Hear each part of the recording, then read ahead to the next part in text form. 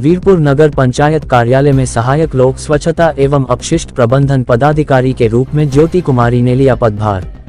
आपको बता दें, नगर पंचायत बीरपुर कार्यालय में शुक्रवार को अपशिष्ट प्रबंधन पदाधिकारी के रूप में ज्योति कुमारी ने पदभार ग्रहण किया।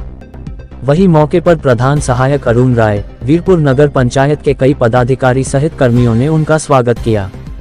वैसे तो नगर पंचायत बीरपुर में स्वच्छता को लेकर काफ़ी लापरवाही देखी गई है। चाहे दिवाली हो या छठ पूजा, इन सभी पर्वों में स्वच्छता को लेकर लोगों को काफ़ी आक्रोश था। चूँकि छठ पूजा में छठ घाट के रास्ते पर ही कचरों का अंबार लगा हुआ था और जिसे समय समय पर जलाया जाता है, साथ ही कचरे को जलाने से निकलने वाले धुएँ से लोगों को काफ़ी परेशानियों का सामना करना पड़ता है।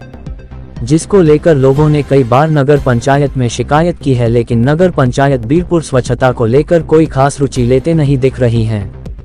वही प्रभारी ईओ कुमार मनीष भारद्वाज के द्वारा हाल के दिनों से स्वच्छता को लेकर काफ़ी गंभीर नज़र आ रहे हैं ऐसे में नगर पंचायत बीरपुर में अवशिष्ट प्रबंधन पदाधिकारी के पदस्थापित होने पर नगर क्षेत्र में स्वच्छता को लेकर क्या परिवर्तन देखने को मिलता है ये देखना दिलचस्प रहेगा